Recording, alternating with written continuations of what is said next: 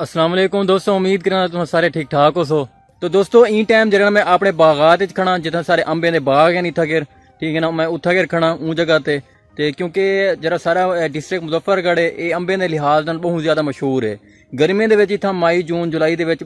ਅੰਬ ਪੱਕਣ ਸ਼ੁਰੂ ਥੀ ਵੇਂਦਨ ਠੀਕ ਹੈ ਨਾ, ਤੇ ਅੰਬ ਦਾ ਇੱਥੇ ਜ਼ੋਰ ਹੁੰਦੇ, ਵਪਾਰੀ ਇੱਥੋਂ ਗਿਰ ਆਂਦੇ ਨੇ ਖੜੇ ਬਾਗਾਤ ਘਿੰਦਨ और खड़े बगात जरा ना ये घिन ते वल ये मतलब है कि जल्द पकड़ शुरू थी वन वल ये इतो कर पट ते ये वल मुख्तलिफ शहर में भिजन ते अगर अस देखूं तो ई टाइम जरा ना ये अंबे के जरे बागात हैं ई टाइम अपना फल चवण शुरू कर देते हैं एक अस बूरस रहते हैं ठीक है ना अगर नज़दीक इन्हें व्यू करो तो एक अस बूरस रहते हैं तो अगर उर्दू इन्हें पता क्या नहीं क्योंकि आदन लेकिन एक अस बूरस रहते हैं और ये जरा बूर है ना ये अंबे के उत्ते हूँ तैयार है ठीक है ना ये सारा बूर जरा ना मतलब है कि रेडी नहीं थी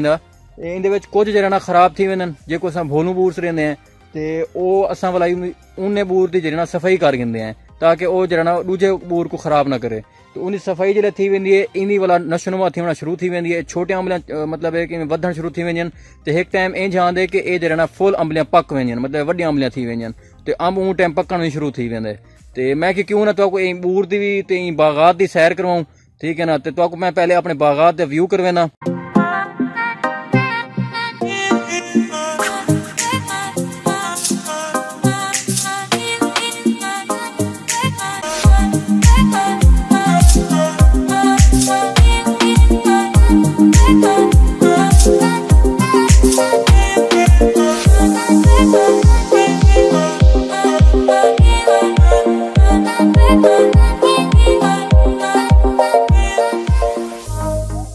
ਤੇ ਦੋਸਤੋ, ਅੰਬੇ ਤੋਂ ਬਾਅਦ ਅਗਰ ਹੁਣ ਅਸਾਂ ਗੱਲ ਕਰੂੰ ਗੰਦਮ ਦੀ ਗੰਦਮ ਦੀ ਵੀ ਮੈਂ ਵੀਡੀਓ ਬਣਾਈ ਹੈ ਠੀਕ ਹੈ ਨਾ? ਉਹਦੀ ਮੈਂ ਉਹ ਟਾਈਮ ਵੀਡੀਓ ਬਣਾਈ ਹੈ ਜਿਸ ਟਾਈਮ ਮਤਲਬ ਹੈ ਗੰਦਮ ਕਾਸ਼ਤ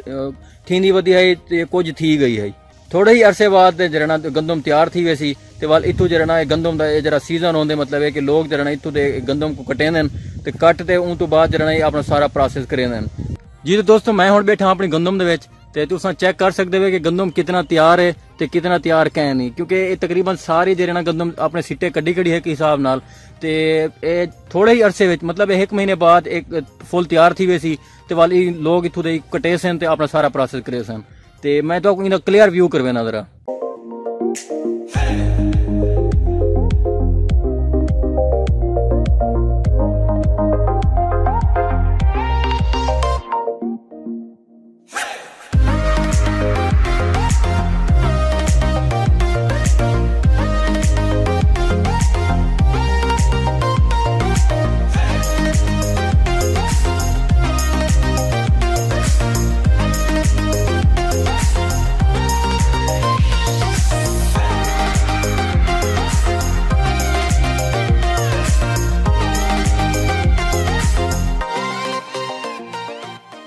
ਯਾਰ ਮੈਂ ਕਾਫੀ ਥੱਕ ਵੀ ਨਾਲ ਗਿਆ।